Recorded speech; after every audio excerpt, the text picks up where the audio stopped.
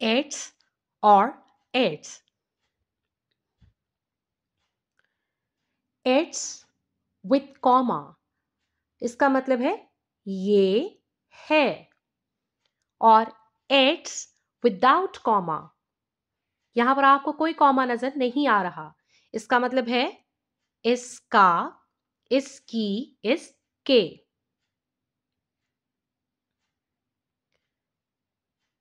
It's with comma contraction है. Contraction है किस वर्ड की? इट इज़ की.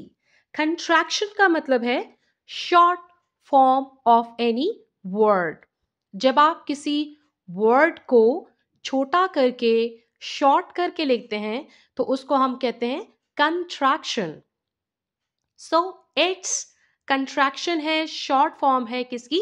इट इज़ की यहाँ पर हम आई को ओमिट कर देते हैं गायब कर देते हैं यहाँ से हटा देते हैं और उसकी जगह पर हम कॉमा लगा देते हैं।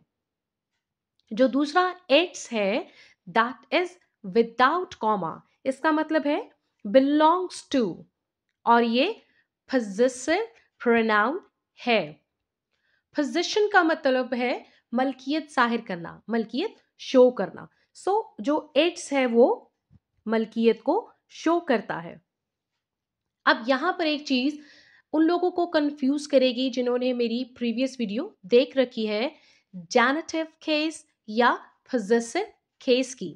जहाँ पर मैंने आपको बताया था कि पोजेसिव केस जो है वो एपोस्ट्रॉफी एस के साथ बनता है। जब हम कॉमा और एस लगाते हैं तो ही पोजेशन बनती है या हम पोजेशन को शो करते हैं। जबकि यहाँ प्रीवियस स्लाइड में आप देख सकते हैं कि यहाँ पर पोजेशन को शो करने के लिए हमने कॉमा नहीं लगाया। और जहाँ पर कॉमा है, वहाँ पर वो इसको शो कर रहा है। आइए इस प्रॉब्लम को या इस कंफ्यूजन को सुलझाते हैं। याद रखिएगा कि एपोस्ट्रॉफी एस हम नाउन के साथ लगाते हैं। नाउन की पोजीशन को शो करने के लिए। और जो एट्स है, वो प्रोनाउन है। रूल के मुताबिक आप प्रोनाउन के साथ एपोस्ट्रॉफी एस नहीं लगाते पोजीशन को शो करने के लिए। इससे पहले कि हम मजीद आगे बढ़े, हम देखते हैं कि नाउन और प्रोनाउन क्या है। दिस इज़ अ लायन ये एक शेर है। सो so, शेर क्या है? नाउन है। नाउन पर भी एक डिटेल वीडियो मैंने बना रखी है और मेरे चैनल पर मौजूद है। आप चैनल को सर्च करें और वहाँ पर इस वीडियो को आप देख सकते हैं और ज़रूर देखेगा ताकि आपको नाउन का जो कंसेप्ट है वो भी ठीक से समझ में आ जाए। It is very fierce animal it has very big mane अब यहाँ पर आप देख सकते हैं कि दोनों सेंटेंसेस में मैंने इट को हाईलाइट किया है। इट जो है वो प्रोनाउन है। प्रोनाउन वो वर्ड है जो नाउन को रिप्लेस करता है। आप फ़र्ज़ कीजिए हम एक ऐसे लिख रहे हैं लायन पे। और मैं कहूँ, कहती हूँ this is a lion it is very fierce animal और मैं इट की बजाय बार बार कहती हूँ lion is very fierce animal lion has big mane lion has brown colour lion has one mouth lion has one nose अब बार बार बार बार मैं लायन लायन यूज़ कर रही हूँ जो कि शायद मेरे आ, कानों को भी थोड़ा अजीब लग रहा है और आ, मुझे जो है वो सुनने में भी और बोलने में भी कुछ अजीब सी फीलिंग आ रही है। सो so, जो नाउन है उसकी रिपीटिशन को रोकने के लिए और जो नाउन है उसको रिप्लेस करने के लिए जो वर्ड्स हम यूज़ करते हैं उसको हम कहते हैं प्रोनाउन और यहाँ पर हम कहेंगे शेर जो है, ये एक शेर है और ये एक खौफनाक जानवर है।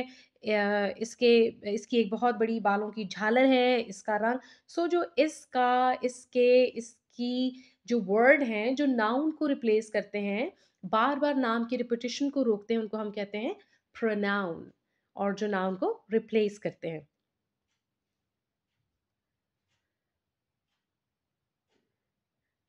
दिस इज़ लायंस मेन अब मैंने आपसे कहा कि जो अपॉस्ट्रफी एस है पोजिशन को शो करने के लिए वो आप नाउन के साथ यूज़ करेंगे। दिस इज़ लायंस मेन ये जो बालों की झालर है, ये किसकी मलकियत है, किसकी है? शेर की है। ये किसी और की नहीं है या उसने किसी और से लेकर नहीं लगाई हुई। इट्स कलर इज़ ब्राउन अगर मैं यहाँ पर एपोस्ट्रोफियस प्रोनाउन के साथ पोजिशन को शो करने के लिए इस्तेमाल करती हूँ, या करता हूँ तो ये मिस्टेक है। क्योंकि यहाँ पर इसका मतलब है इट इज़ और इज़ हम ऑलरेडी यूज़ कर चुके हैं तो दो दफ़ा इज़ आप लगाएँगे। दिस इज़ अ मिस्टेक लेकिन अगर आप पोजिशन को शो करना चाहते हैं प्रोनाउन के ज़रिए तो हम कहेंगे इट्स कलर इज़ ब्राउन इसका रंग ब्राउन है। चूज़ द राइट ऑप्शन वो डिफरेंस जो अभी अभी हमने सीखा है, ये देखने के लिए कि क्या हमने उसको मुकम्मल तौर पर सीख लिया है। ये एक छोटी सी एक्सरसाइज है जो हम करेंगे। यहाँ पर हर सेंटेंस में मैंने दोनों तरह के इट्स लिख रखे हैं। आपने राइट वन चूज़ करना है। Brown cat licked its paws it's time to go to college my dog and its puppies are taking nap. This frog is very beautiful. Its color is perfect for you. Have you seen my pencil? It's not in its box. Answers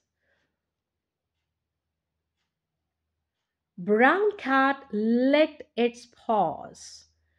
Brown जो बिल्ली है उसने अपने पाँव चाटे सो so, उसके पाँव थे या उसने अपने पाँव चाटे। इट इज़ ये है।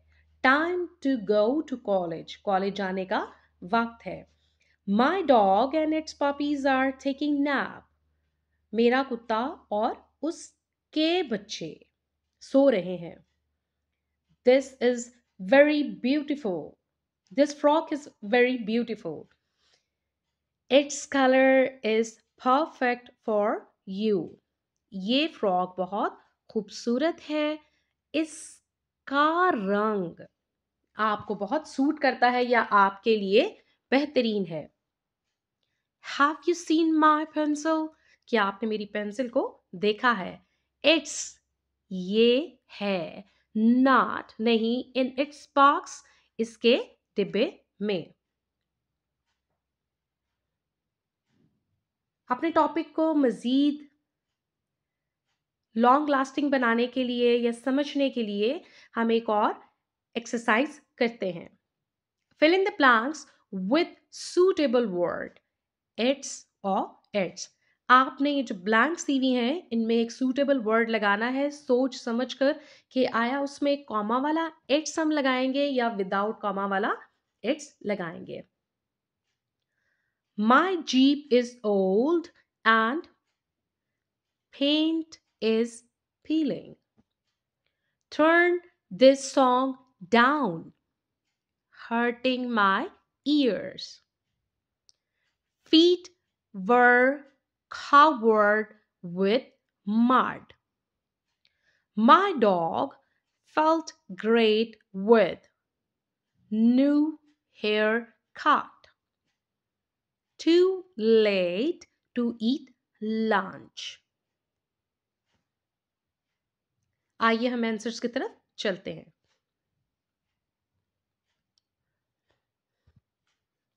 My jeep is old and its paint is peeling मेरी जीप बहुत पुरानी है और इसका पेंट इसका रंग उतर रहा है। टर्न दिस सॉन्ग डाउन ये गाना बंद कर दो। इट्स ये है। हर्टिंग माई ईयर्स मेरे कानों को तकलीफ़ दे रहा है। इट्स फीट इसके पाँव। वर कवर्ड विथ मर्ड ढांपे हुए थे या ढके हुए थे मट्टी के साथ। My dog felt with its new hair haircut. मेरा कुत्ता अपने नए बालों की कटिंग के साथ या नए हेयर कट कट के साथ बहुत अच्छा फील कर रहा था। इट्स ये है। Too late to eat lunch ये बहुत लेट है दोपहर के खाने के लिए। या इस वक्त दोपहर का खाना खाना बहुत लेट है। आई होप ये वीडियो आपको पसंद आई होगी और आपको ये टॉपिक भी ठीक से समझ आया होगा। Thank you very much